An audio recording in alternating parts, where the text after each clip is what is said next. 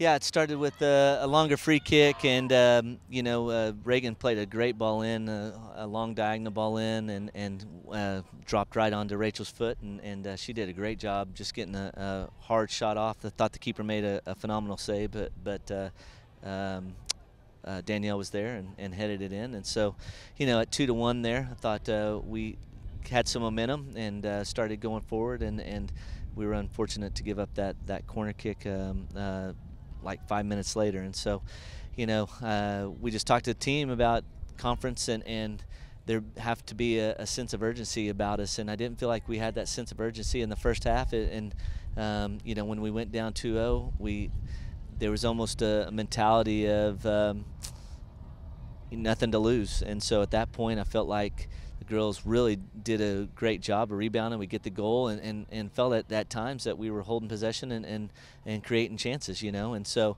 um, just what we talked about afterwards is just that you can't we can't wait. We can't uh, we can't uh, wait till we go down 2-0 to have that sense of urgency. So it's a wake up call for sure. You know, um, this was a, a, good opportunity just for the fact that this is the year that we have five home games in conference, and so uh, you protect your home field and, and good things happen. So now we got to make up these points somewhere else, and, and hopefully we can do that on Sunday. You know, SMU is a very very good team and, and have have had a lot of good results, but. Uh, you know, if we play like we did in the last 15, 20 minutes here, uh, with that um, nothing to lose mentality, I think uh, we'll give them a game.